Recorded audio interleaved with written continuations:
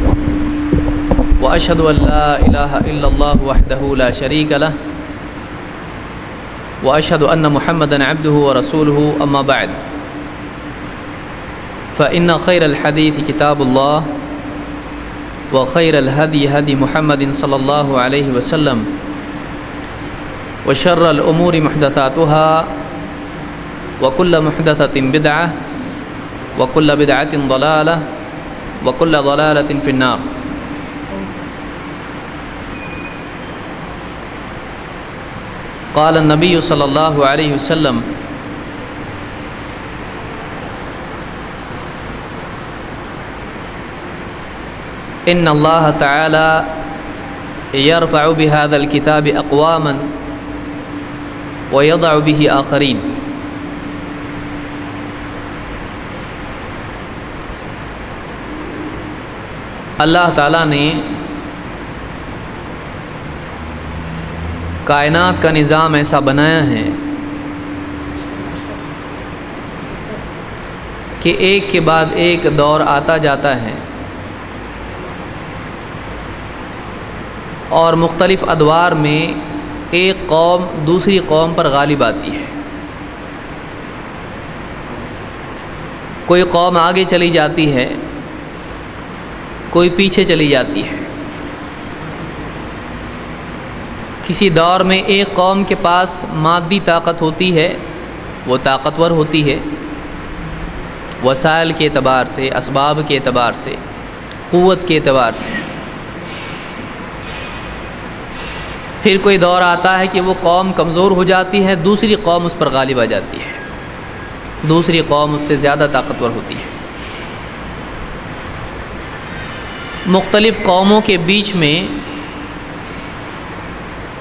आपस में ये दौड़ लगी रहती है और ये जंग हमेशा जारी रहती है। लेकिन दुनिया में गालिब आना ऊँचा होना, मकाम पाना। ये असल नहीं है। मादी एतबार से गालिब आना यह असल नहीं है। असल ये है कि एक इंसान, एक कौम, एक जमात, एक उम्मत, अल्लाह के यहाँ मकबूल हो और अल्लाह की तरफ़ से उसके लिए तमकीन का गलबे का फ़ैसला। थोड़ी देर के लिए गालिब आ जाना, मादी एतबार से गालिब आ जाना, ये असल गलबा नहीं होता है। असल गलबा ये होता है कि नज़रियात की सतह पर एक कौम दूसरी पर गालिब आ जाए। और अल्लाह की तरफ़ से ऐसी ताकत मिले, ऐसी क़वत मिले कि जिसमें अल्लाह की नुसरत हो और उस गलबे में बका हो।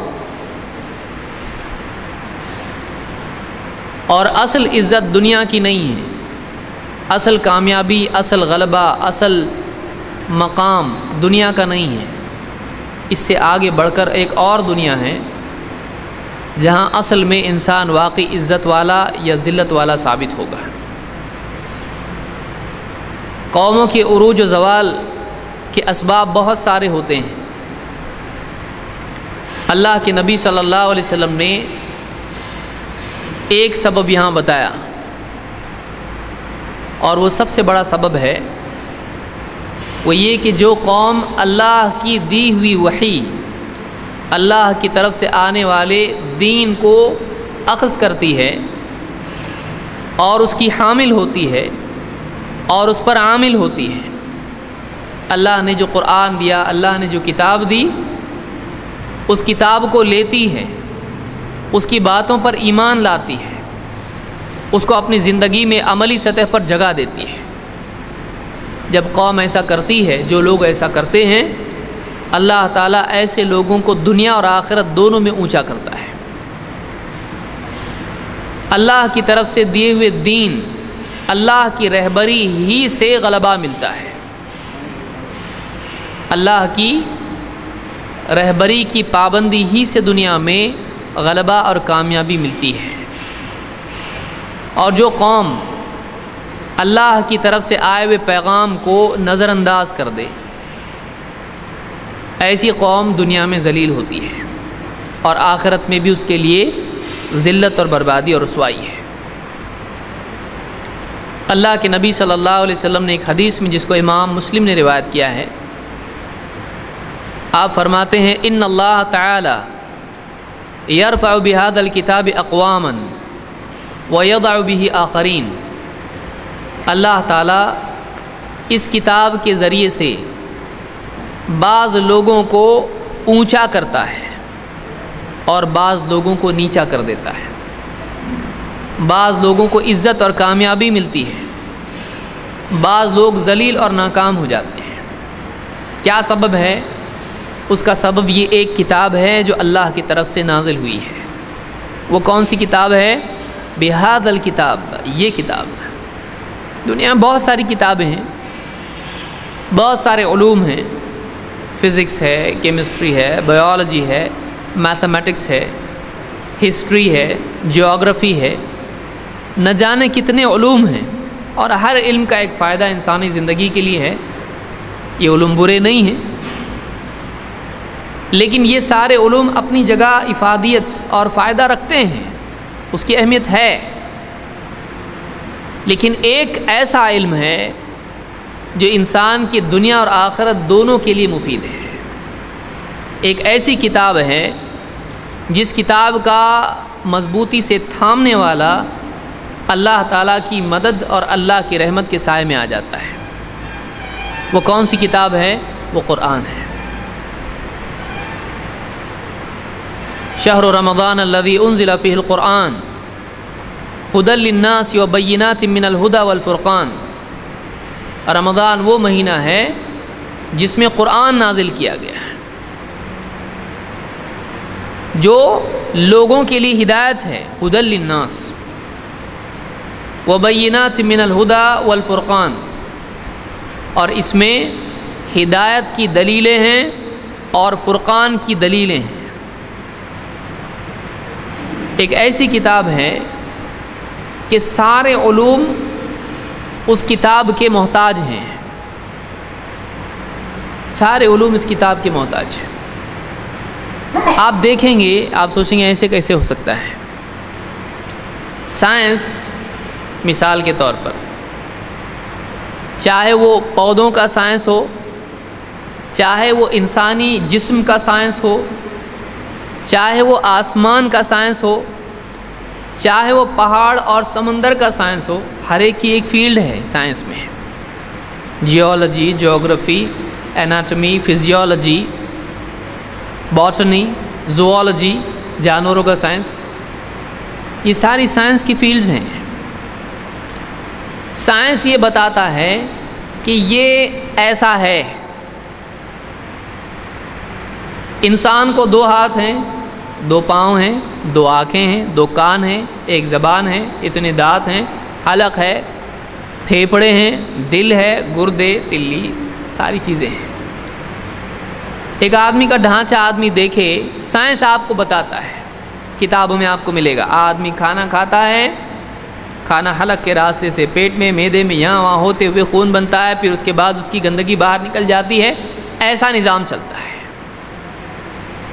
नाक से हवा लेता है, सांस लेता है, अंदर जाती, फेफड़ों में जाती है, ऐसा होता है, सारे खून में वो चीज़, ऑक्सीजन सारा खून लेता है, खून साफ़ होता है, दिल में जाता है, दिल की धड़कनों से ऐसा होता है। बारिश होती है, समंदर का पानी भाप बन के ऊपर जाता है, बादल होते हैं, बादल बनते हैं, बादल सर्द होते हैं, फिर एक जगह से दूसरी जगह जाते हैं, और फिर बारिश होती है। फुला परिंदा अंडे देता है, फुला जानवर अंडे देता है, फुला आपको बच्चे पैदा होते हैं। इतने दिन में अंडा उसके ऊपर मुर्गी बैठती है, फिर उसके अंदर से चूज़ा निकलता है। समंदरों में ऐसा होता है, दो समंदर मिले रहते हैं, दरिया मिलते हैं, एक मीठे पानी का, एक खारे पानी का, दोनों चलते हैं, दोनों मिलते नहीं हैं, क्यों? उनके बीच में एक बरजक होती है। और वो दोनों को रोके रखती है। आसमान में सितारे हैं, सूरज है, चाँद है, बाकी सितारे हैं। ज़मीन है सैारे जितने भी हैं, सूरज के गिरद सैारे घूम रहे हैं और ज़मीन के गिरद चाँद घूम रहा है। और फिर ये पूरी बड़ी एक यूनिवर्स है गैलेक्सीज और क्या कुछ नहीं है। आसमान देखें तो आदमी तारे गिन नहीं सकता है। पत्ते हैं, पेड़ है, पौधे हैं। बीज है, बीज ज़मीन में डाल दो, बीज ज़मीन में फट जाता है। क्यों? फटता है। उसमें से कौपल निकलती है अखवा निकलता है। एक सफ़र ज़मीन की तरफ़, एक सफ़र आसमान की तरफ़। बीज के अंदर से दो चीज़ें निकलती हैं। एक का सफ़र नीचे की तरफ़, एक ही बीज है। एक का सफ़र नीचे की तरफ़। वो ज़मीन में गहराई में तलाश करता है। क्या तलाश कर रहा है वो? वो पानी तलाश कर रहा है। वो खाद, गज़ा अपने लिए तलाश कर रहा है। वो बराबर अपने आप ज़मीन में फैलता चला जाता है। और ज़मीन को फाड़ के उसका एक हिस्सा निकलता है, कौपल निकलती है। फिर उसमें से पत्ता निकलता है, पत्ता बढ़ते बढ़ते उसकी टहनी डंटल बढ़ती जाती है। थोड़ा सा छोटा पौधा बनता है, फिर पेड़ बन जाता है। पेड़ से शाखें निकलती हैं, शाखों में पत्तियाँ होती हैं, फूल बनते हैं, फूल से फल बनते हैं। पेड़ की हिफाजत के लिए निचला हिस्सा मज़बूत होना चाहिए। लकड़ी का मज़बूत होता है, कुल्हाड़ी से भी काटेंगे, मुश्किल से टूटता है। और फल गिरने के लिए थोड़ा उतना मज़बूत नहीं होना चाहिए। तो वो हिस्सा कैसा होता है एकदम? पतला, नाजुक होता है। बल्कि जब फल पकता जाता है तो वो हिस्सा और सूखता चला जाता है, ताकि थोड़ा सा उसको धक्का लगे, हवा का झोंका आ जाए तो भी पका हुआ फल गिर जाए। जानवर हैं, परिंदा है, चिड़िया का बच्चा है, अंडा है, अंडे में से निकला, पर उसके हैं, चोंच उसको है, पंजे उसको हैं, उड़ने के लिए पर हैं, लैंडिंग के लिए उसको जैसे एरोप्लेन को व्हील्स होते हैं, उसको पाँव हैं, खाने के लिए चोंच है, आँखें हैं, आँखें इस तरह से हैं, दोनों तरफ़ का दिखना चाहिए। और शेप उसका ऐसा है कि सामने का हिस्सा नुकीला है। और फिर बीच में हिस्सा मोटा है, फिर पीछे दुम है। और बीच में पर हैं। और पाँव ऐसे हैं कि एकदम सुकेड़ के ऐसा ले सकते हैं। प्लेन देखिए, आपको समझ में आएगा। पर ऐसे हैं। क्यों? ऊपर उड़ना है हवा में। और हवा में उड़ने के लिए शेप जो होना चाहिए, सामने का अगर मोटा हो जाए तो हवा के रेजिस्टेंस से पतंग आपने उड़ाई होगी, देखा होगा आपने किसी को। तो उसको हवा की वजह से उसको टकराव मिलेगा, आगे नहीं जा सकती है चिड़िया। क्योंकि सामने का हिस्सा अगर बड़ा है तो। लेकिन सामने का हिस्सा कैसा है? जैसे कील होती है, कील आपने देखी है।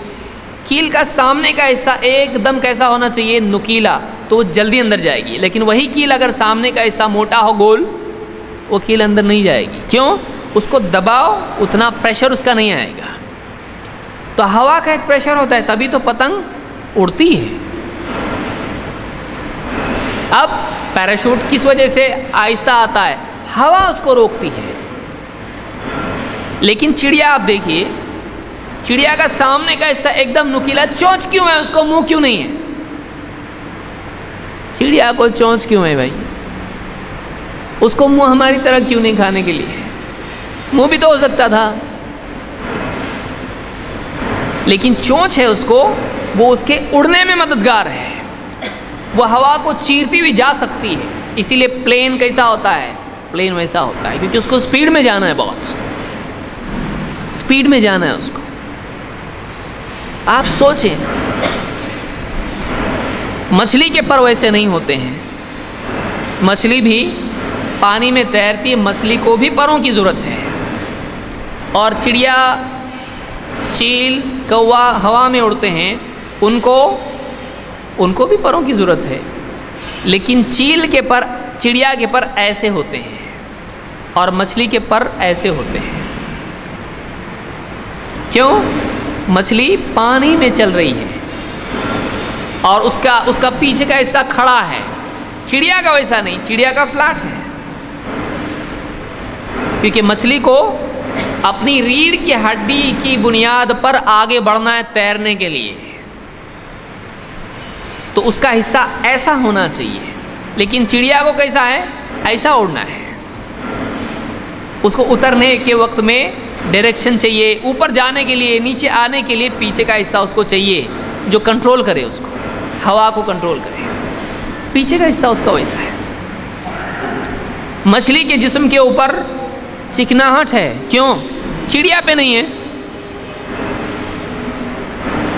मछली के ऊपर आप पकड़े मछली हाथ में से मछली की तरह हाथ में नहीं आता है। तो मछली क्यों ऐसी है? पानी उससे चिपक के उसको रोके नहीं। वो पानी में तेल उसके बदन पर है, वो फिसलती चली जाए, उसको तैरना आसान। साइंस आपको ये बताता है, ऐसा है। ऐसा क्यों है? मखलूक़ात में एक मानवीयत है। वो वैसा ही है जैसा होना चाहिए। अक्ल जब उसकी बनावट पर गौर करती है तो अक्ल ये कहने पर मजबूर होती है कि ये अपने आप नहीं बना है। इसको किसी ने बहुत ही इल्म की बुनियाद पर ऐसा बनाया है। चाँद, सितारे। यहाँ तक कि आप मक्खी अगर देखें, अगर आप मक्खी देखें तो मक्खी की भिन भिनाट भी आपको बामानी दिखाई देगी। उसके पर की बनावट, उसके हल्केपन की वजह से उसके पर मज़बूत और वो इतनी हल्की, कैसा होगा? उसको चिड़िया की तरह पर दे सकते हैं? नहीं। ऐसा क्यों है? मच्छर, मक्खी और जितने भी ड्रैगन फ्लाई जिसको कहते हैं इनके पर अलग होते हैं, चिड़िया के अलग हैं। क्यों? उनका वेट बहुत कम होता है और उनके पर बहुत तेज़ी से उड़ते हैं, क्योंकि हल्के हैं, इसलिए बहुत तेज़ी के साथ उनको हवा में उड़ते रहना पड़ता है एक जगह। क्यों ऐसा है? इसका जवाब साइंस नहीं देता बोलते भाई ऐसे ही है। इसकी इसकी इफादियत बता सकते हैं कि भाई ये ऐसा होना चाहिए, इसलिए कि इसमें फ़ायदा है। सूरज दूर है, चाँद करीब है। सूरज इतना दूर ही क्यों? ज़्यादा दूर क्यों नहीं? ज़्यादा करीब क्यों नहीं? साइंसदा कहते हैं कि अगर सूरज और ज़्यादा दूर होता तो ज़मीन पर सर्दी हो जाती, सब ठिठर जाते पौधे हैं। और दिन और रात लंबे लंबे हो जाते, सब निज़ाम बर्बाद हो जाता है। और अगर और करीब हो जाता तो इतनी गर्मी बढ़ जाती कि सारे इलाके रेगिस्तान हो जाते और पौधे झुलस जाते, जल जाते। लोगों का जीना मुश्किल होता है। इंसान चलता है, ज़मीन पर चल सकता है, उसको ग्रेविटेशनल फोर्स खींचे हुए। एक कुत है जो हमको ज़मीन से जोड़े रखती है। अगर उससे ज़्यादा होती तो चलना मुश्किल होता है। अगर हल्की हो जाती तो एक आदमी बैठे बैठे बच्चा बैठा कहीं उड़ के चला जाता है। जैसे चाँद पर होता है, इसलिए कि वहाँ पर एक बटा छः गुना होता है। यानी साठ का दस किलो हो जाता है आदमी वहाँ पर। जो साठ किलो का है, चाँद पर अगर उसका वज़न आप करेंगे, दस किलो होगा। क्योंकि वहाँ पर ताकत खींचने वाली नीचे से नहीं उतनी। इसीलिए चाँद पे जो लोग जाते हैं, वो उड़ते हुए दिखाई देते हैं। तो साइंस ये बताता है, और ये दुनियावी उलूम जितने भी हैं, हमको ये बताते हैं, ये ऐसा है और ऐसा ही होना चाहिए था। वो ये नहीं बताते हैं, ऐसा किसने बनाया? इसकी इसकी वजह क्या है? ये सब ठीक है, जो सब है, वो सब सही है। ठीक है, जो भी बना, बिल्कुल सही है। ऐसा क्यों है? इन सब का मकसद क्या है? एक बाग है, पूरा उसमें जिधर के उधर फूल हैं, साया है, सब है गार्डन फाउंटेन सब है। क्यों भाई ये? एक बड़ा हॉल है, वहाँ जा रहे हैं, सारे दस्तरखान बिछा हुआ है, खाने, पीने, लज्जत की चीज़ें, सारी, बैठने की कुर्सियाँ सब लगा हुआ है। कौन किया भाई ये? क्यों ऐसा? क्या बात क्या ये? दिख रहा तो सब सही है। जो चीज़ जिधर होना चाहिए थी, वैसी ही है। जो जो चाहिए था, सब है। क्यों? साइंस के पास जवाब है, ये दुनिया ऐसी क्यों है? ये कायनात क्यों है? मखलूक़ात इंसान के ताबे क्यों हो जाती है? आप देखिए, इतना बड़ा घोड़ा है हॉर्स पावर घोड़ा आदमी के पास काबू में आ जाता है। ऊँट इंसान से ज़्यादा वज़न भी है और इंसान से ज़्यादा ताकतवर भी है। और उसकी सिफात रेगिस्तान के लिए बहुत मुनासिब है। सवारी के अतबार से बेहतरीन सवारी है। इंसान के लिए सवारी क्यों बन जाता है भाई? क्यों काबू में आ जाता है इंसान के? ताकतवर को तो गालिब आना चाहिए इंसान पर। इंसान के हाथ में नहीं आना चाहिए। इंसान के काबू में क्यों आ जाता है? एक बैल, कई ख़ानदान उसको खाते हैं इतना वज़न, इतना ज़्यादा गोश्त, और सींग भी है डिफेंस के लिए। इंसान के पास तो वो भी नहीं है। हथियार भी उसका इन बिल्ट हथियार है उसका। बैल क्या क्या है? उसकी दो तलवारें उसके पास हैं। दाएँ बाएँ दोनों हाथ में जैसे गोया के। इंसान निहत्ता है। निहत्ता पैदा हुआ है। बैल के पाँव मज़बूत। बैल के सिंग मज़बूत। उसका जिस्म ताकतवर। मारो तो लगेगा भी नहीं ज़्यादा। इंसान इतना नाजुक। एक मार लग जाए तो हड्डी फ्रैक्चर हो जाए। लेकिन इंसान उस, उसको काबू में कैसे कर लेता है? वो क्यों इंसान के काबू में आता है? कौन किया ऐसा? साइंस के पास इसका जवाब है, ऐसा क्यों? नहीं। हमको फेफड़े हैं। हवा नहीं मिलेगी तो मर जाएँगे। और मर जाएँगे कितनी देर लगेगी? अब बताइए, एक आदमी सांस। हमारी मौत कितनी करीब है? एक मिनट करीब है हम लोग मौत से। कोई दो मिनट करीब है, चलिए। ज़्यादा से ज़्यादा कितना? कि सिर्फ़ हवा हम रोक लें, अब कोई आदमी हमारी हवा रोक दे, सिर्फ़ दो तीन मिनट के लिए मर जाएगा आदमी। इतना करीब। लेकिन क्या निज़ाम है? पूरी ज़मीन में आप कहीं भी जाए, आपका मोबाइल नेटवर्क छोड़ देगा, आपको हवा बराबर मिलेगी।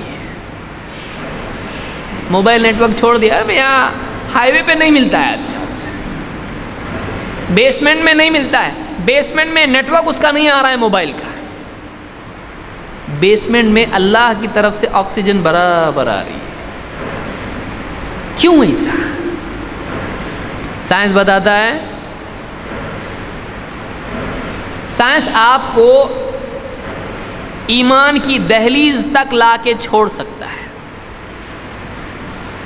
साइंस आपको बताता देखो ये सब सही है। ये बहुत हिकमत के साथ बना हुआ है। हर चीज़ में हिकमत है। हर चीज़ में माना है मीनिंगफुलनेस है। हर चीज़ अपनी जगह बिल्कुल सही है। लेकिन दुनियावी ओलूम इनकी कोई तोजीह नहीं कर पाते हैं। दुनियावी ओलूम इनका मकसद नहीं बताते हैं। ये बहुत बड़ा प्रॉब्लम है। इसके बाद एक और इल्म की और एक और किताब की ज़रूरत बाकी रहती है। वो क्या है? वो अल्लाह की तरफ़ से आने वाली किताब है। वो अल्लाह की तरफ़ से आने वाला इल्म है, जो बताता है कि सब सही दिख रहा है ना? हाँ ये तुम्हारे लिए हमने बनाया है और तुमको अपने लिए बनाया है। सब का सब ज़मीन पर इंसान के लिए बनाया है, ये अल्लाह बता रहा है। ये तुम्हारे लिए और क्यों बनाया? तुम हमारी इबादत करो या यूनासबुद रब्बकुम अल्लवी खलक़कुम वल्लवीन मिन कबलिकुम लअल्लकुम तत्तकून ए लोगो अल्लाह की इबादत करो अपने रब की इबादत करो ये सब तुम्हारे लिए बनाने वाला कोई और है ऐसे चुपचाप बन गया ऐसा नहीं है और बुदो रब्बकुम तुम्हारा कोई रब है जिसने तुम्हारे लिए खाना पीना हवा लिबास जिस्म सारी चीज़ें अता की फल फूल, साए, घर, जानदार, ऊन, कपड़े, लिबास, सब तुम्हारे लिए पैदा किया तुमको पैदा किया, तुमसे पहलों को पैदा किया। खलकुम वल्लदीन मिन कबलिकुम। क्यों? क्यों उसकी इबादत करो? लकुम तत्तकून। ताकि तुम जहन्नम से बच जाओ। ताकि तुम मुत्तकी हो जाओ और गुनाहों से बचो। ताकि तुम अल्लाह के यहाँ मुत्तकी कहलाने लायक बनो। कौन अल्लाह अल्लवी जालकुमर्द फ़िराशन व समा अबिना वो जिसने तुम्हारे लिए ज़मीन को बिछौना बनाया और आसमान को तुम्हारे लिए छत बनाया। वह अनजल अमिन समा इमान फ़ाखरा जबी मिन तमराती रिज़्क़ और आसमान से उसने तुम्हारे लिए पानी बरसाया और ज़मीन से तुम्हारे लिए रिस्क निकाला, तुम्हारे खाने के लिए। फल निकाले। फ़ला तजालुल्ला अंदाद व तुम तलमून अब तुम अल्लाह के लिए बराबरी वाले, अल्लाह के शरीक न बनाओ, हालाँकि तुम जानते हो, ये कोई कोई और नहीं कर सकता है। ये अपने आप नहीं हो सकता है। तुम्हारी अंदर की फितरत बोलती है कि अगर कुछ बनाए तो बनाने वाला होना चाहिए। बनाने वाला होना चाहिए। ये बामानी कायनात है। ये कचरे का ढेर नहीं है। तो ये अल्लाह का बहुत बड़ा एहसान है कि अल्लाह ताला ने मुसलमानों को एक ऐसी किताब दी जो इंसानों की हिदायत की किताब है। इंसान के वो सवाल, इंसान के वो सवाल जिनका जवाब साइंसदान नहीं दे सकते हैं, वो ये किताब जवाब देती है। कुरान में सारी साइंस की बातें नहीं हैं। हर चीज़ आप कहें न्यूट्रॉन भी होना चाहिए, प्रोटॉन भी होना चाहिए। कुरान में सारी बातें साइंस की नहीं हैं। न कुरान इसलिए नाजिल हुआ है। लेकिन जो बातें अहम तरीन बुनियादी बातें, जो सारा साइंस जानने के बाद भी बची रहती हैं, क्या ऐसा क्यों? ऐसा क्यों? ये सारा निज़ाम क्यों है? ऐसे कई अहम तरीन सवालात जिनका जवाब साइंस नहीं देता है, उनका जवाब कुरान देता है कि ये इसलिए ताकि तुमको अल्लदी खलकलमौत वलहयात लियबलुकुम अयुकुम अहसन अमल। अल्लाह ताला है जिसने मौत को पैदा किया, जिसने ज़िंदगी बनाई, ताकि तुमको आजमाए, तुम में अमल में कौन अच्छा है। तुमको यहाँ अमल के लिए, आजमाइश के लिए पैदा किया गया है। क्यों इंसान आज़ाद है? चाहे तो अच्छा करे, चाहे तो बुरा करे, साइंस के पास जवाब नहीं।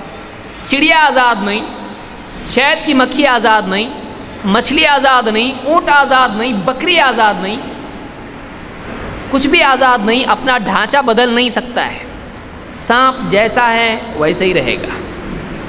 चिड़िया जैसी है, वैसी रहेगी।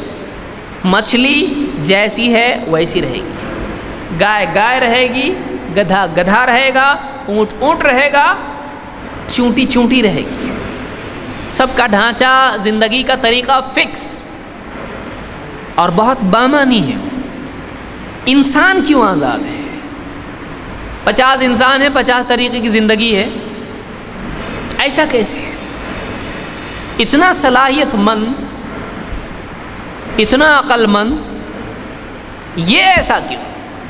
साइंस जवाब नहीं देता इसका। आप बताइए, एक मखलूक है, एकदम साइंस क्या मानता है? इंसान सबसे बेहतरीन मखलूक है। बंदर होते होते इंसान बना, बोलते हैं ना, सही नहीं, ये सही नहीं। है अल्लाह ने इंसान ही को बनाया सर साइंस मानता है कि इंसान तमाम जानदारों में सबसे बेहतरीन और एकदम इम्प्रूव शक्ल है। बेहतरीन मॉडल है ये। साइंस भी मानता है, कुरान ने भी इसको कहा है। लगत खलक न इंसान फ़ी आसनी तकवीम। लेकिन सवाल ये है कि जब बाकी चीज़ें इतनी पाबंद हैं और वो नेचर को नुकसान नहीं पहुंचाती हैं, आप देखिए आजकल जो जानवर लोग मार रहे हैं साइंसदा क्या कह रहे हैं? जानवरों को मारो मत। उनको रहने दो।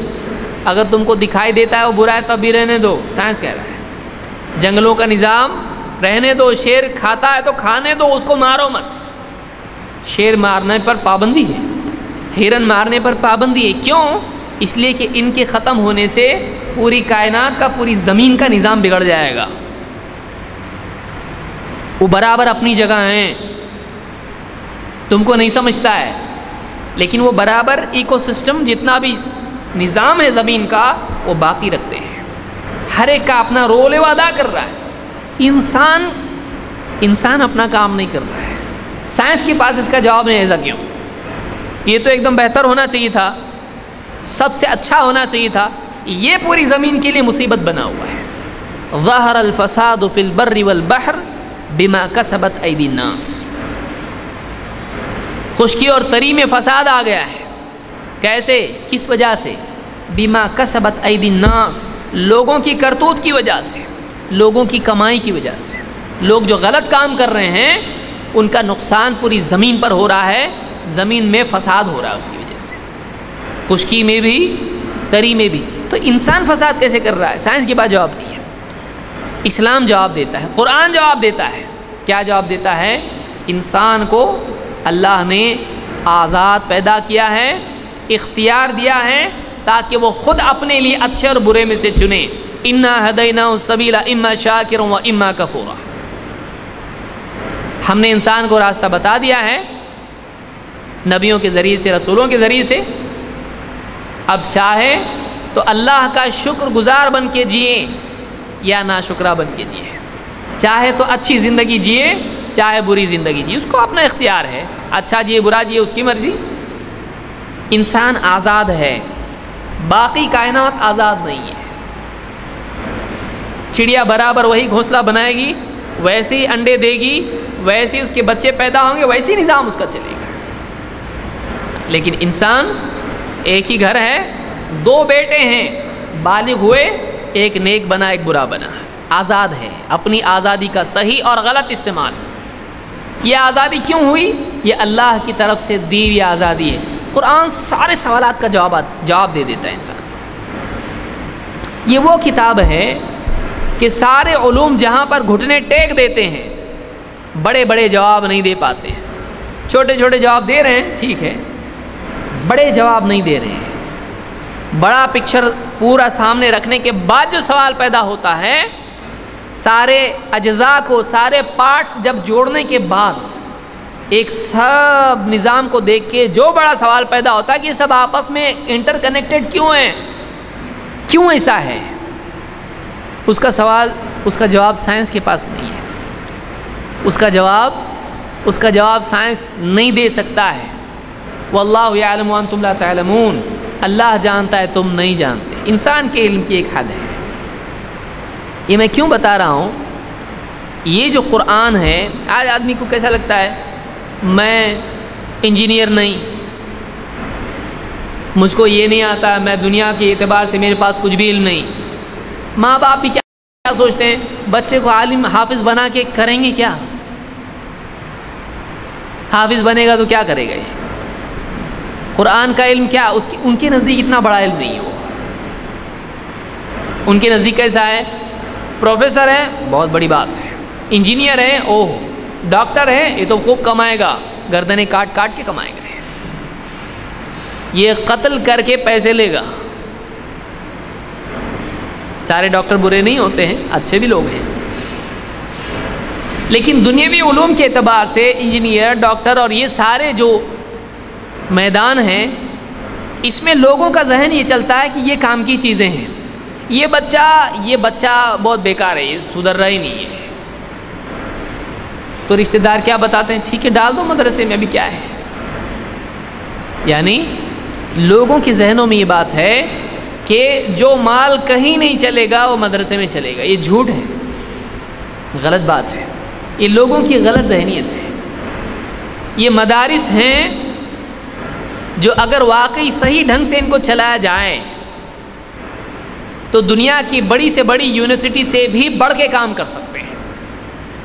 ये वाकई वो जगह है जहाँ इंसान, वाकई इंसान बनाया जाता है।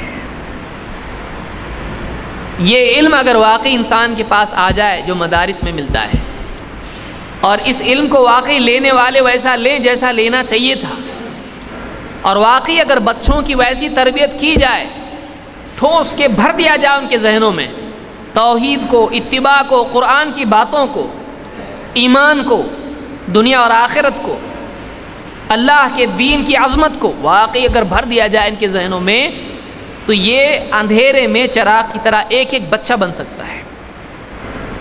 एक आदमी मालूम नहीं कितनों की हिदायत का ज़रिया बनेगा। कोई आदमी तस्वुर नहीं कर सकता है। हम नहीं जानते कल क्या होगा।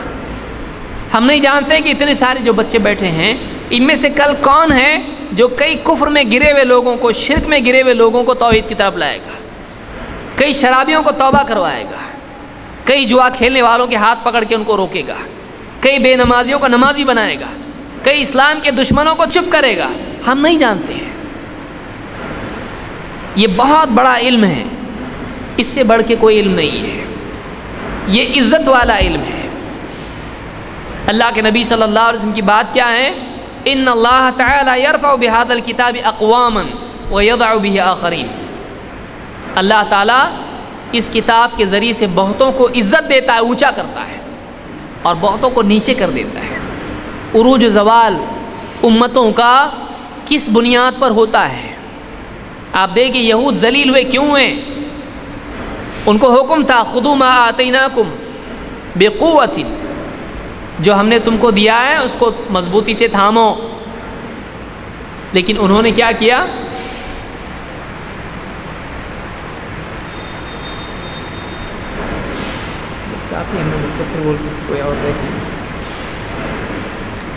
यहूद ने क्या किया? यहूद ने वो किताब जो अल्लाह की तरफ़ से दी गई थी, तौरात, उसको पसे पुश डाल दिया। उसको भुला दिया। उसकी बातों में शक में पड़ गए। मूसा सलाम अल्लाह की तरफ़ से पैगाम लाते थे कहने लगे, हमको अरिन अल्लाह जाहरा, हमको बताओ, हम अल्लाह को देखेंगे तो मानेंगे नहीं तो नहीं। वाकई तुम सही बोल रहे, नहीं बोल रहे, हमको क्या गारंटी है? अल्लाह ने हुक्म दिया इन अल्लाह अमरकमन तब बकरा। बकरा ज़बा करो। उसमें रास्ते निकालने लगे, ऐसे कि वो अमल न करना पड़े। बताओ कैसी है हमको बकरा, कैसी गाय होना चाहिए? कैसा रंग हो, कैसी हो, क्या हो? डिटेल ताकि अमल न करना पड़े, मुश्किल बनाओ उसको। फ़बहुहा व मका दो फ़ालून ज़बा तो कर दिया ऐसा शादी नहीं करने वाले थे यहूद ने क्या किया किताब ली लेकिन किताब लेने के बाद उसका हक अदा नहीं किया हक अदा करना ईमान के अतबार से पढ़ने के अतबार से और उसकी तफसील उसका इल्म हासिल करने के अतबार से उस पर अमल करने के अतबार से उसको दूसरों तक पहुँचाने के अतबार से। अल्लाह के नबी सल्लल्लाहु अलैहि वसल्लम की सिफात उसमें थी, छुपा दिया उसको। छुपा दिया उसको। अल्लाह की किताब को छुपा दिया। अल्लाह की तरफ़ से लानत हुई। इन लदीन तुमून मा अनजल्ला मिनल वलहुदा मिन बाद मा बय्यनाहु फिल किताबी। उलाइक यलअनहुमुल्लाह व यलअनहुमुल्लाइनून अल्लाह ने जो हिदायत और दलीलें नाजिल की हैं, उनको छुपा देते हैं उतारने के बाद भी, अल्लाह की तरफ़ से वाज हो जाने के बाद भी। तो अल्लाह ने क्या फरमाया? ऐसे लोगों पर अल्लाह की लानत है। यहूद ने अल्लाह की किताब के इल्म को छुपा दिया उनके पास किताब लिखी हुई शक्ल में थी, लेकिन उसको पहुंचाते नहीं थे। क्या आज मुसलमान ही नहीं कर रहा है? कितने लोग हैं जो इस किताब के हामिल हैं, वो अपनी दुनिया में मगन हैं। खाओ, कमाओ, खुश रहो, मौज मनाओ। ये किताब क्यों आई है? छुपाने के लिए या पहुँचाने के लिए? एक तरफ़ नबी कह रहा है बल्ली वालो आया। एक आयत ही सही, पहुंचाओ। एक आयत ही सही, पहुंचाओ। ये किताब आई है पहुँचाने के लिए। बलाग, अल्लाह ने कहा, ये पहुँचाने के लिए पैगाम है। इसको बलाग कहा गया है। या युह रसूल बल्लमा उनजिल रबिक ए रसूल, जो आपकी तरफ़ से, आपके रब की तरफ़ से आया आपके पास, उसको पहुँचा दीजिए। बल्लग माँ उनजिल रबिक व इलम तफ़ल फ़मा बल्लग रिसालत अगर आपने नहीं पहुँचाया तो आपने रिसालत का हक अदा नहीं किया। यहूद ने भी छुपाया। लेकिन इस उम्मत को बताया गया, तुमने वैसा नहीं करना है। पहुंचाओ। बल्लिवानी वालो आया। एक आयत ही सही पहुंचाओ। आज कितने मुसलमान हैं जो कुरान की तालीमत को दूसरों तक पहुंचाते हैं। कितने हैं? कितने पढ़ने वाले हैं? पढ़ाने वाले तो छोड़िए। कितने लोग हैं कि अगर उनको कहा जाए, आइए, ज़रा इमामत कीजिए। नमाज़ आती है। लेकिन कहा ज़रा इमाम बन जाइए। बोले, नहीं। क्यों? कुरान सही नहीं है। अच्छा आपका कुरान सही नहीं है। आपका कुरान सही नहीं है। आप कैसे सही हैं? आपका कुरान सही नहीं तो आप सही नहीं हैं। आपने ज़िंदगी में अपना घर सही किया है। अपनी जूतियाँ सही की हैं। अपने कपड़े सही किए हैं। अपनी दुकान सही की, आपने अपना कुरान सही नहीं किया। आपने क्या किया अब तक? आपने अब तक किया क्या? कितने साल से सही हो रहा है आपका कुरान?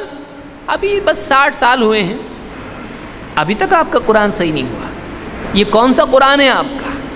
आपके बच्चों का सही हो गया, आपका नहीं हो गया। क्यों? ध्यान नहीं दिया आपने किस चीज़ पर? जूती टूट, बटन टूट गया, कमीज़ का। फ़ौरन ऑफ़िस जाना है भाई। दिखाई दिया, बटन टाँग लगाते हो अरे, बीवी से पूछा, सही नहीं किया इसको? दूसरा पहन लो, नहीं, अभी सही करो इसको। ये मुझको पहन के जाना है बाहर। वलीमे में जाना है, ऑफ़िस जाना है। साहब से मिलने जाना है। बटन टूट जाए, फ़ौरन सही कर लेता है। बटन टूटा हुआ, उसको नहीं चलता है। कपड़े प्रेस करना चाहिए, थोड़ा भी नहीं। सब सही होना चाहिए साहब का। कुरान सही नहीं, कितने लोग हैं। सूर्य फातिहा पढ़ेंगे तो सूर्य फातिहा अगर पढ़ के सुनाओ बोलेंगे तो उस आदमी को पसीना आ जाएगा।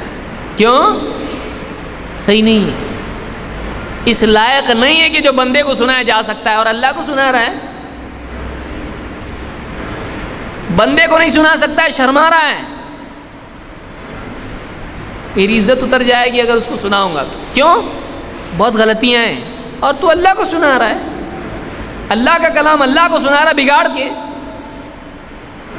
अल्लाह का कलाम अल्लाह को सुना रहा है और ढंग से पढ़ रहा नहीं उसके सामने। बंदे के सामने शर्म आती, अल्लाह के सामने शर्म नहीं आती। है कितने मुसलमान, एहसास नहीं है। एहसास नहीं है।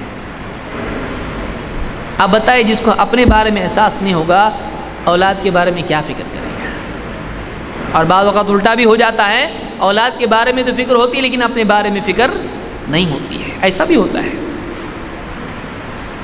तो आप बताइए कि जब कुरान के साथ ये सलूक होगा तो आप सोचेंगे कि फिर हमारे साथ क्या सलूक होगा? जो कौम कुरान के साथ, अल्लाह की किताब के साथ ये सलूक करे कि ईमान और फहम और वो सारे मामला तो दूर, पढ़ भी नहीं सकती उसको सही। आप बताइए, उस कौम कहाँ है वो अभी? कहाँ तरक्की करेगी? कहाँ अल्लाह की मदद आएगी? वो तो पढ़, अल्लाह की किताब को सिर्फ़ पढ़ती भी नहीं है। और उसका फ़हम, उसके फ़हम के अतबार से कोसों दूर कि उसमें क्या लिखा हुआ है? नहीं मालूम। बच्चे के साथ में बैठ रहे हैं। ए बी सी डी उसको पढ़ा रहे हैं। हिसाब उसको सिखा रहे हैं, गिनती उसको पढ़ा रहे हैं, सब पढ़ा रहे हैं। कल इम्तहान है, बाहर खेलने नहीं जाना। चार घंटे, तीन घंटे, पाँच घंटे, बैठ के पढ़। पढ़, जैक केंजिल पढ़। पढ़ाया जा रहा है कुरान कुरान के बारे में फ़िक्र नहीं है। कौन सा कलाम है ये? वो कलाम है जो आसमान से आया है। आसमान से आया, उसके बारे में कोई फ़िक्र नहीं है। और सूर्य फातिहा ज़िंदगी भर पढ़ रहा है, क्या पढ़ रहा है मालूम नहीं। अब बताइए सूर्य फातिहा क्या पढ़ रहा है ज़िंदगी भर?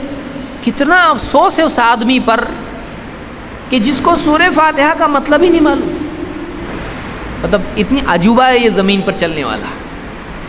कि वो आदमी ज़िंदगी भर कुरान में नमाज़, सूरतुल फातिहा पढ़ता रहे, कभी उसको ऐसा थोड़ा मैं क्या पढ़ रहा आदमी कोई आदमी, कभी आपने देखा है, वो क्या बोल रहा उसको नहीं मालूम? उसको मालूम ही नहीं मैं क्या बोल रहा हूँ। कोई आदमी देखा है?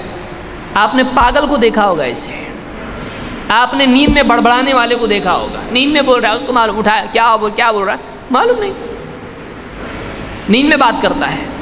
पागल है, उसको नहीं मालूम है क्या बोल रहा बेहोशी में कोई बड़बड़ा रहा है, लेकिन एक आदमी जो यकीन रखता है कि कुरान वाकई अल्लाह का कलाम है, इसमें इंसानियत की हिदायत है, और बाकी तो छोड़िए, पाँच वक्त में नमाज़ में सूरतुल्फ़ातिहा पढ़ता हूँ, कुल अहद पढ़ता हूँ इन आतना कल कौसर पढ़ता हूँ वलासर पढ़ता हूँ, मालूम ही नहीं मुझको मैं क्या पढ़ रहा हूँ। कभी तो वक्त निकाले। इतना बिज़ी हो गया है। इतना वक्त नहीं, साहब के पास अल्लाह के लिए वक्त नहीं है। और कितनों को तो ये भी तौफीक नहीं है कि पाँच वक्त नमाज़ में खड़े होकर पढ़ें। नमाजी गायब तो कुरान कहाँ से पढ़ेगा वो? जब नमाज़ ही नहीं पढ़ेगा तो कुरान कहाँ से पढ़ेगा कहाँ जा रही उम्मत से?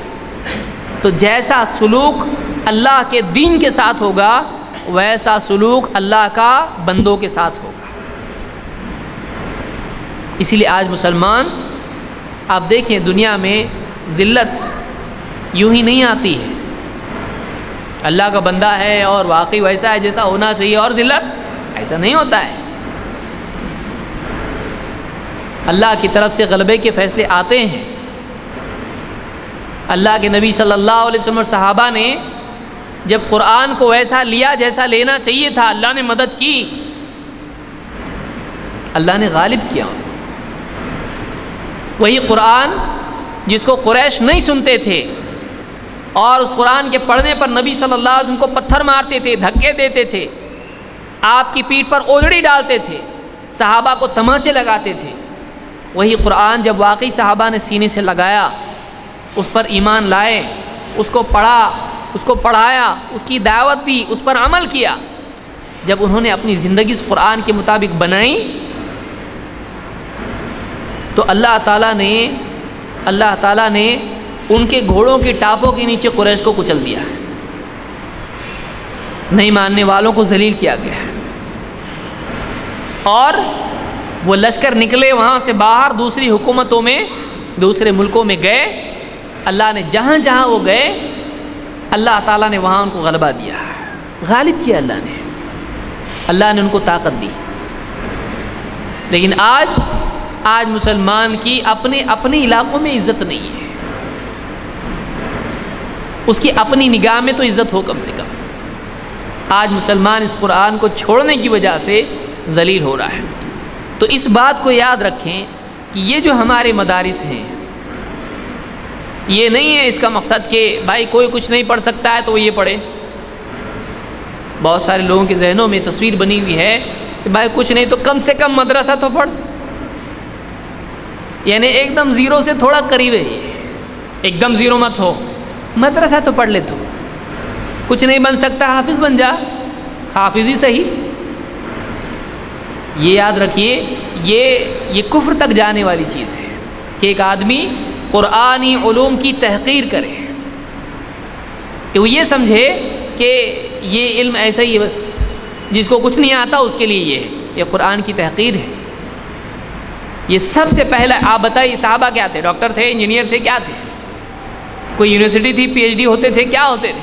वो आते थे अल्लाह के नबी सल्लल्लाहु अलैहि वसल्लम की खिदमत में और आपस में बैठ के वहाँ पर कुरान के हलके लगते थे, आपस में कुरान सीखते थे। वो मदरसा था, मस्जिद नबी की। उन्होंने उतना इल्म हासिल किया आज के जो उलूम हैं, ये बुरे नहीं हैं। लेकिन ये दीन का बदल नहीं है। ये इंसान की नजात के लिए काफ़ी उलूम नहीं है, ये दुनिया के लिए है। कोई आदमी साइकिल चलाना सीख जाए तो कि जन्नत में जाएगा? लेकिन साइकिल चलाना अच्छी बात है। आया उसको गाड़ी चलाना, किसी को नहीं आती है तो जहन्नम में जाएगा। आपको अगर वायरिंग करना नहीं आती है, आपको घड़ी बनाना नहीं आती है, आपको ये नहीं आता, वो नहीं, जहन्नम में जाए। आपको दीन नहीं आता है, जहन्नम में जा सकते अल्लाह हम सबकी हिफाजत फरमाए। अब बताइए कौन, क्या इम्पोर्टेंट क्या है फिर? कि एक आदमी हमेशा की बर्बादी इन चीज़ों में नहीं है। मुझको अगर घर बनाना नहीं आता, मैं किसी और से बना लूँगा। मेरे लिए मसला नहीं है। मुझको अगर जूतियाँ सीना नहीं आता है, किसी और से सिलवा लूँगा। मुझको अगर कपड़े बनवाने नहीं आते, किसी और से बनवा लूँगा। एक आदमी दूसरे का काम कर सकता है, एक आदमी दूसरे का दीन नहीं अमल कर सकता है। अपना दीन अपने को करना पड़ेगा। तिल का उम्मतन कद खलत लहा मा कसबत वलकुम मा कसबत। ये लोग थे जो चले गए। उनके लिए उनका अमल तुम्हारे लिए तुम्हारा अमल है। हर एक के लिए उसका अमल है। वह अल्लाह इंसान इल्ला मासा हर एक के लिए उसी की कोशिश है। हर एक उसी की कोशिश का मालिक है। किसी और के अमल से हम जन्नती कैसे बनेंगे? हमको अपना अमल करना पड़ेगा। और अमल सही करने के लिए इल्म का सही होना ज़रूरी है। अगर इल्म सही है तो जाके अमल सही होगा। और दुनियावी उलूम से आदमी का दीन सही होता है। एक आदमी डॉक्टर बन गया, सब आ गया, उसको इस्लाम में क्या ऐसा होता? है नहीं, उसको इस्लाम भी सीखना पड़ेगा। तो आज हमारे लिए इस बात की ज़रूरत है कि हम दुनियावी उलूम हासिल करें, बहुत अच्छा है। लेकिन वो दुनिया की हद तक है। हम दीन का इल्म भी हासिल करें इसलिए कि ये वो असल इल्म है जो हमारी दुनिया की दुनियावी उलूम को सही रास्ता देता है और हमारी आखिरत के लिए नजात का रास्ता खुलता है। तो ये जितने मदारिस हैं, इन मदारिस को क़वत देना चाहिए। इसमें पढ़ाने वालों को क़वत देना चाहिए। पढ़ने वालों को क़वत देना चाहिए। इनका निज़ाम ऐसा होना चाहिए कि इससे बेहतरीन अफराद निकले और इस की बहुत बड़ी ज़िम्मेदारी है इसमें, कि ये जो बच्चे हैं, ये जो अफराद हैं, ये वाकई उम्मत के कीमती अफराद हैं। कभी बच्चे शरारती भी आ जाते हैं, लेकिन इनको ऐसा बना के बाहर भेजा जाए कि फिर ये जिस जिस तक अल्लाह के दीन की बात लेकर जाएँ, और इनके ज़रिए से, अब देखिए जिनके ज़रिए से जिसको भी हिदायत मिलेगी, ये किसके आमाल नामे में आएगा? या साफजा के आमाल नामे में आएगा, क्योंकि यही वो लोग हैं जिन्होंने इस मिट्टी, कच्ची मिट्टी से घड़ा बनाया है। अब इसमें जो भी पानी पिएगा, उनको स्वाब मिलेगा। मिट्टी है, पड़ी हुई है, जूतियों में आएगी। लेकिन वही मिट्टी अगर उठा के उसका बर्तन बनाया जाए, उसमें कोई पानी पिएगा, उसकी प्यास बुझेगी। बस मदारिस के जो इस हैं, उनका ये काम है कि कौम ने जिस मिट्टी को फेंक दिया है, कुछ काम की नहीं है, इससे कुछ बनाया नहीं जा सकता है। ऐसा समझ के ये उनका अपना गलत गुमान है। मिट्टी मिट्टी है और कीमती है। अल्लाह ने आदम सलाम को मिट्टी से बनाया था। मिट्टी क्या कुछ नहीं कर सकती है। इसी मिट्टी से हम ऐसा बर्तन बनाएँ, जिसमें कुरान और सुन्नत का इल्म रहे और उस इल्म से कौमों की प्यास बुझे। ये इस का काम है। जो उनको मिट्टी कैसी भी मिली है, वो मिट्टी उठाएँ और उसका सही बर्तन बनाएँ उसको, उसका सही मसरफ तलाश करें। और हर बच्चा कीमती होता, हर इंसान अल्लाह ने बनाया, अल्लाह नौज़बिल्ला गलत बना दिया। अल्लाह ने हर, अल्लाह ने कीड़े मकोड़े गलत नहीं बनाए, बराबर उनका काम है। कोई आदमी अल्लाह ने गलत नहीं बनाया है।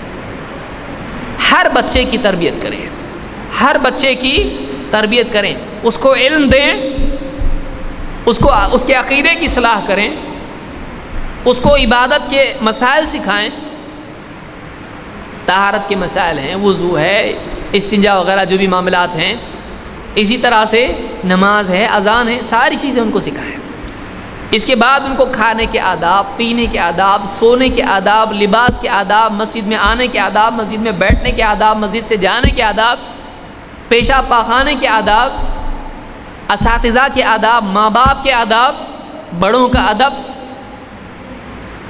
कुरान से मुतालिक आदाब, दीन की मजलिस के आदाब, हर चीज़ उनको सिखाई जाए। अखलाक उनको सिखाई जाए, उनको सिफात सिखाई जाए। बड़ों की तज़ीम है, छोटों पर शफकत है, बात में नरमी है, अदब है, सब्र है, अल्लाह अल्लाह की महब्बत है, अल्लाह के रसूल सल्लल्लाहु अलैहि वसल्लम की महब्बत है। आपस में इत्तेहाद और इत्तिफाक़ है। एक दूसरे को माफ़ करना है। गलती हुई तो माफ़ी मांगना है। एक दूसरे के काम आना, एक दूसरे के दुख, कोई बीमार है तो उसकी तीमारदारी करना। ये सारी अखलाक उनको सिखाए जाए। उनको ज़िंदगी का मकसद दिया जाए। तुम आए, तुमको माँ बाप ने भेजा, पढ़ो, जाओ। हमारा काम हो गया। नहीं। स्कूलों में होता होगा ऐसा। हमारे मदारस में नहीं होगा ऐसा। हमारे मदारस कैसे हों? तुम्हारी ज़िंदगी का एक मकसद है। बहुत सारी तहरीकें जो इस्लाम के ख़िलाफ़ चलती हैं। उनको बचपन से उनके जहनों में डाला जाए तुम्हारी ज़िंदगी का मकसद मुसलमानों को बर्बाद करना है। तुम्हारी ज़िंदगी का मकसद मुसलमानों को बर्बाद करना है। ज़िंदगी उनको डाला जाता है उनके हम ऐसा मकसद किसी को नहीं देंगे। हम क्या मकसद देंगे? तुम्हारा मकसद इंसानियत की हिदायत है। तुम्हारा मकसद अल्लाह के दीन की इशात है। तुम्हारा मकसद इंसानियत को गंदगी से निकालना है। उसके जहन में डाला जाए। बार बार बार बार बार। इतना हैमर किया जाए उसको कि नींद में से उठे तो उसके जहन में बात हो कि मेरी ज़िंदगी का एक मकसद। ऐसा होना चाहिए। मत, चौबीस घंटा हमको कितने दिन तक मिल रहा है एक बच्चा? अगर एक बच्चा हमको पाँच साल तक मिलता है, मान लीजिए साल में 200 दिन हमको मिलता है। पाँच साल अगर मिलता है, एक हज़ार दिन हमको एक बच्चा मिला है। एक हज़ार दिन मिले एक आदमी के हमको। और ऐसे अगर सौ बच्चे हमको मिलते हैं तो हम कितने हैं? एक हज़ार, एक लाख हज़ार। कितने होते हैं? सौ हज़ार का कितना होता है? एक लाख दिन। यानी ज़िंदगी कितनी ज़िंदगियाँ बनेंगी? और ये जाके अगर आगे और मदरसा चलाता है, आगे और लोगों को हिदायत के रास्ते खोलता है, सब उस्ताद के आमाल नामे में आएगा कितना उसको मिलेगा। हाथ में आया, उसको सही करके छोड़े हाथ में आया है वो ज़ाय नहीं होना। एक बच्चा भी हमारा ज़ाय नहीं होना चाहिए। एक बच्चा भी वेस्ट नहीं होना चाहिए। वो मदरसे से बाहर जाए, फिर दाढ़ी कटवा ले, फिर कुर्ता पजामा उतार दे, कुरान पढ़ना छोड़ दे, नमाजें छोड़ दे, सब गाने बजाने, तंबाकू खाना शुरू कर दे। ये ज़ाय हो गया है। इतना अच्छा बनाया जाए उसको कि ये हो ही नहीं उसको। इतना मज़बूत उसको बनाया जाए। नाम किसका ख़राब होगा? देखो, मदरसा पढ़ के आया। कौन से मदरसे में था? फुलाने मदरसे में। कुछ पढ़ाया कि नहीं तुझको? क्या किया? क्या पढ़ाया तुझको? ये सिखाया? नाम किसका ख़राब होगा? इस का। देखिए, सारी मेहनत करने की बात कोई बिगड़ता है तो उसका कौन क्या कर सकता है? नबी का बेटा भी अगर बिगड़े तो नबी क्या करे? नू सलाम का बेटा बिगड़ा हुआ निकला। लेकिन हम अपनी ताकत के बकदर इतनी कोशिश करें बच्चे के ऊपर कि हमको पसीना आ जाए। तब जाके खेती उगेगी। खेती के लिए बीज बोने की मेहनत है, बीज डालो डालो डालो। हल चलाने की भी मेहनत है उसमें। बहुत मेहनत करनी पड़ेगी। फिर निगरानी पौधा बनने के बाद पानी देना, खाद देना, चिड़िया से बचाना, बकरी से बचाना, सारी निगरानी करनी पड़ेगी। तो एक बच्चा अगर हमको मिलता है, वो बच्चा हमारे लिए उम्मत की अमानत है। अगर ये बच्चा इसकी अच्छी तरबियत हम करके उम्मत में छोड़ देते हैं, बहुत बड़ा काम हमने कर लिया है। और वाकई अल्लाह ताला जजाय खैर दे तमाम इस को, जो दिन रात की मेहनत से बच्चों को तरबियत देते हैं, अपने घर छोड़ के बीवी बच्चों से दूर रह के भी बाज़ करना पड़ता है। तो ये क़ुरबानी उम्मत के लिए अल्लाह ताला उसको कबूल फरमाए। तो ये उम्मत का भी, उम्मत की भी ज़िम्मेदारी है कि इस का ख्याल रखें, उनकी ज़रूरियात का ख्याल रखें। और इसी तरह से बच्चों के मसाइल हैं, बच्चों के मसाइल भी हल किए जाएँ। उनके लिए अच्छा इंतज़ाम हो, उनकी देखभाल हो, खाने पीने का, अल्हम्दुलिल्लाह, अपने मदरसे में तो अल्लाह का एहसान है कि हर एतबार से बेहतर है और उसको बेहतर बनाने की कोशिश की जाए। अल्लाह ताला इस मजलिस को हमारे लिए नजात का ज़रिया बनाए और हमको एक फ़िक्र इख्तियार करने की तोफ़ी अदा फ़रमाएँ कि हमारे जो मदारस हैं, ये एक मदरसा है, ऐसे जितने मदारस हैं, हमारा किसी भी मदरसे से ताल्लुक़ हो, सबका पेश आए, उस्ताद से हमारा रब्त हो, हम इस बात की फ़िक्र पैदा करने की कोशिश करें कि हम हर हर बच्चे को इस उम्मत का दाई बनाएँ। हर हर बच्चा हमारा ऐसा बने कि वो मदरसे से फारिग होने के बाद उम्मत के लिए कोशिश करें, उम्मत की हिदायत की कोशिश करें, बल्कि सारी इंसानियत को हक़ की तरफ़ लाने के लिए भाग दौड़ करें। उसकी ज़िंदगी का एक मकसद हो। बेमकसद ज़िंदगी खुद बर्बादी है, उसको बर्बादी के अंजाम की ज़रूरत नहीं है। बेमकसद ज़िंदगी खुद एक मुसीबत है। वो खुद एक अजाब है। उसको अजाब की ज़रूरत नहीं है, लेकिन ये कि उस पर भी अजाब है। ये दोहरी बात है, दोहरा अजाब हुआ। तो अल्लाह ताला हमको एक बामकसद ज़िंदगी इख्तियार करने की तोफ़ी अदा फरमाएँ। और जो हजरात मदारस में नहीं पढ़े हैं, जो काम काज में रहते हैं, वो भी इस बात की फ़िक्र करें कि हमारी, हमारा कुरान सही है कि नहीं। देखिए, शर्मा शर्मा के आदमी जहालत ही में जीता रहता है कि मेरी गलती आएगी, इमाम साहब के साथ बैठूँगा कुरान सुनाऊँगा। इमाम साहब सोचेंगे, अरे, इसको तो अभी तो कुरान नहीं आता है। तो आप अल्लाह से नहीं छुपा रहे, इमाम साहब से छुपा रहे, क्या फ़ायदा? है एक आदमी यानी अल्लाह से नहीं छुपा हुआ है, अब लोगों से छुपा रहा है। क्या मतलब है उसका? उसको पढ़ना बादशाह के सामने इसके सामने इंसल्ट हो गया, चलेगा। उस बादशाह के सामने इंसल्ट नहीं होना चाहिए। आदमी घर में कैसा भी बनियान और कुछ भी पहन के घूमता है लूँगी, लेकिन बादशाह से जब मिलने जाता है, कैसे जाता है? थोड़ा अच्छे कपड़े पहन के जाता है। वही, वैसे ही जाता है? नहीं। बादशाह के सामने सही बात करें। उसके सामने सही पढ़े।